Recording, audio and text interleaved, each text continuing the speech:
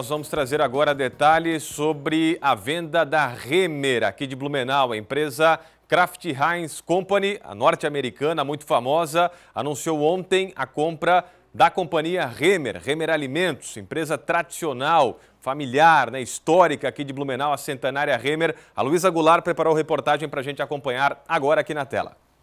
A Remer Alimentos tem 106 anos de história em Blumenau. A empresa é responsável por alimentos em conserva e molhos como ketchup, mostarda e maionese.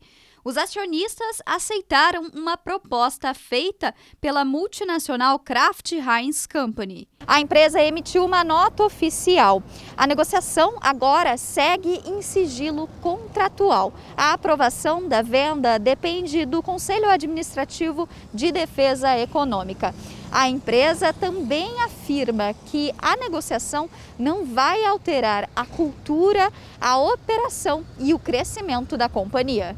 Os valores da transação não foram divulgados. O secretário de Desenvolvimento Econômico de Blumenau, Silvio Zimmermann, diz que ainda é muito cedo para ter uma visão clara da situação. A é uma empresa que se reinventou nas últimas décadas e se tornou uma empresa competitiva no âmbito nacional. E o seu alto faturamento chama a atenção de empresas nacionais e internacionais.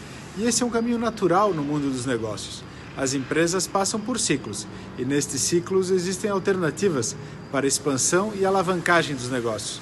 Nós esperamos que a linha de produção e os empregos permaneçam aqui e ainda que se possa ver mais investimentos por parte dos compradores.